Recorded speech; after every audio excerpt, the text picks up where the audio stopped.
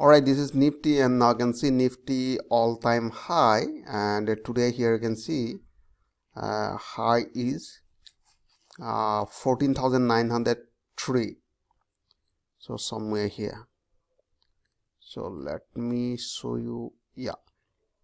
Here I can see high all-time high and the last two days because of uh, union budget and the price push up and exactly here I can see there was a resistance. So here I can see previous uh, higher point around 14,724 almost near about.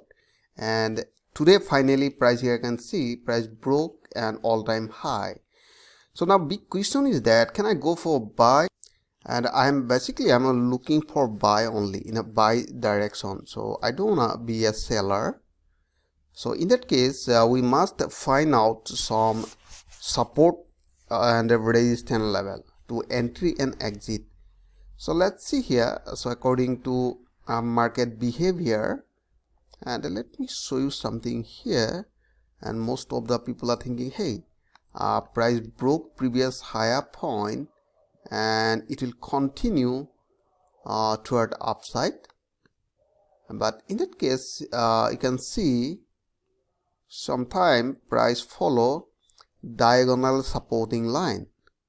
So let's see that is a higher point and this is the another higher point. So i just connected two most recent swing point. So have you seen it?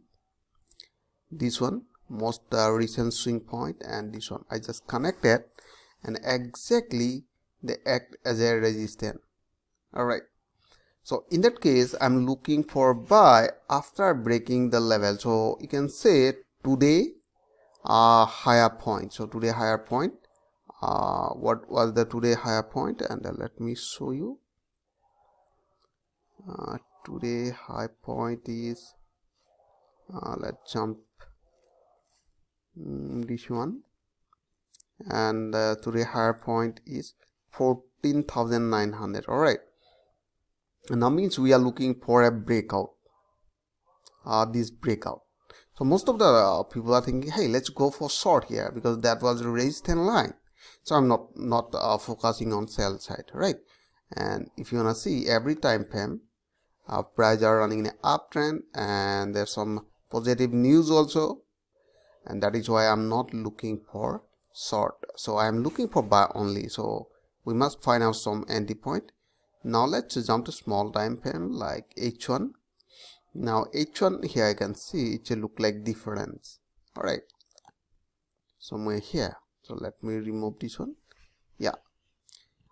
Uh, so in that case i'm looking for buy if price pull back uh, to the level of uh, let me show you. Near previous uh, resistance line. Now you can see that was a resistance line and i drawn a horizontal line and now it's becoming a support here. Have you seen? So it means i'm looking for buy. Uh, once price pull back. So now question is that most of the people are thinking hey price not able to pull back to this level. So i'm not uh, i'm not placing any order. All right. So i'm looking for buy after giving a pull back to the level of 1 4 750 almost. Uh, this line. All right so definitely i'm looking for buy. And another i'm looking for buy if price not able to pull back to this level if continue to the upside and i'll uh, i'll place uh, limit order uh, above today's uh, higher point. And now see in a small time frame. Okay now see uh, in 15 minute time frame it should look like. All right okay I can see. So means I'm looking for buy. I need a pullback here and after that we need a, a bullish confirmation or if price break this level so definitely we'll go for buy.